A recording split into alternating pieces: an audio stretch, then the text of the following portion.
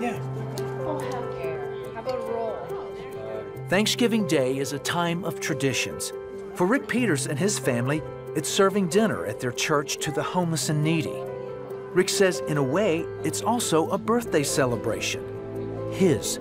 Because on Thanksgiving Day, more than 20 years ago, Rick got a second chance at life. Definitely a Thanksgiving miracle. I don't know where I would have been. Dead, probably. If not dead, then surely locked up. His life of crime started in his teen years, after divorce and alcohol destroyed his family. He remembers the better times, like holidays and going to church to learn about God. But after the divorce, both parents ended up abusive alcoholics. His dad was prone to violence, while his mom hurled verbal insults. My mom told me that I was the only mistake God made. To hear that, it was more than I could handle. I wanted nothing to do with church or with anything about God. Or with his family. Rick left home. On the streets, he found a way to vent his anger and make a living. Supplying the drugs was a very easy way to do it.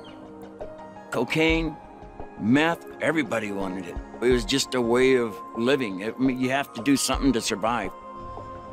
And for years, he did. He spent many nights in jail for dealing and using drugs, getting into fights and drinking. I'd get out, and within just a few hours, I'd be arrested again. Then he met Terry, someone who believed in him. They married and had a daughter. Rick wanted to change, but couldn't break the cycle. Still, she stayed. Terry would just put up with it because she loved me. After their daughter moved out on her own, Rick convinced Terry to move to the Arizona mountains to start a new life. He had bought a large stash of drugs, hoping to kickstart a business, but his plan fell through. Soon, they were out of money. They moved to a trailer in the mountains. They had no heat and could barely afford food. We're eating very little, maybe a half a meal a day, and we're coming into the early parts of winter, Thanksgiving time, and it is, it was cold. It was real cold. Desperate, they sold their plasma just for grocery money. Then Terry became anemic and couldn't give. We finally hit a point of being at the very bottom. For me, I had given up by this point. Cold, hungry, and desperate, Rick snapped. I brought the propane inside the trailer with me. So I opened up the valves on them and let the propane start flowing. And I'm striking these matches, and nothing's happening. And I yell out, God help me. I just, I just wanted this to end.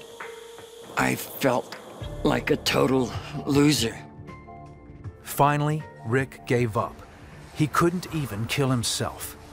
So the next day, they went into town looking for food. It was Thanksgiving, and they knew of a church that was serving free dinner. Some gravy down there? Hello, ma'am. How As they ate, a man was sharing about God's love. Rick thought about what he said in the trailer the day before. Maybe those words, God help me, had a little bit more impact than what I had realized. The speaker sat down next to Rick and asked him if he wanted to pray and give his life to Jesus Christ. Rick said yes.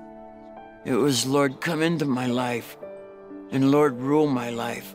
Forgive me of my sins.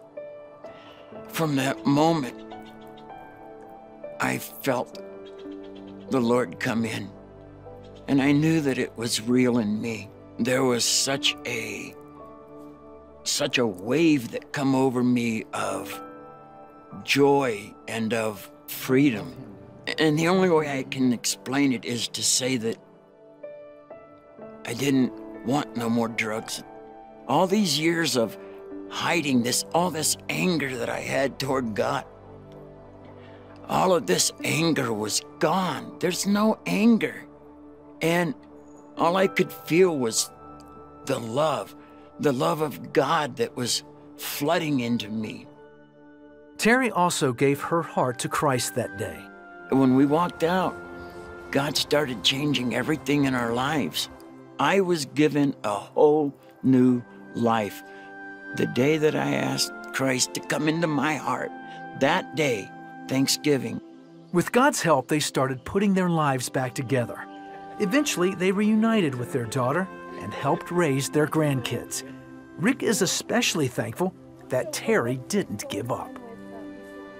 when you take into consideration that all the hell that I put her through for years, and here we are 30 years later, and the woman's still with me, and I love her dearly. And now on Thanksgiving, they share God's love with others in need in the very church where they found new life in Christ. Man, look at that. That's great. God gave me back my life. And when He did that, He's never let go of me, and I'll never let go of Him.